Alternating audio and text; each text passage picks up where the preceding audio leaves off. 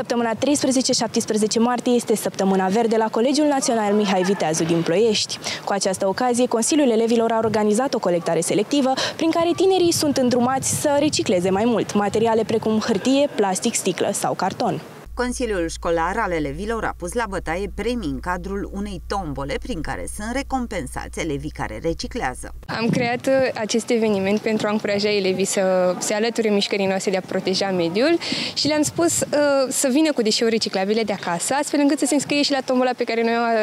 o organizăm la finalul acestei săptămâni. Practic, noi am pus la Uh,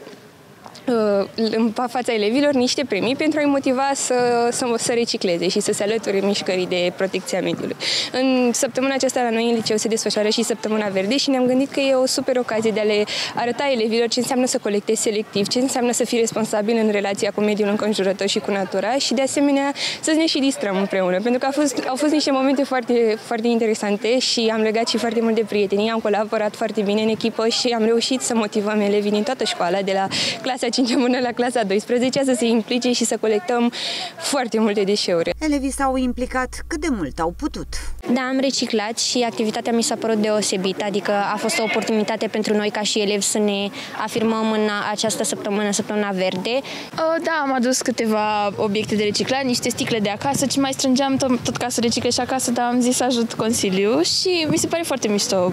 inițiativa asta să facem ceva în școală, pentru că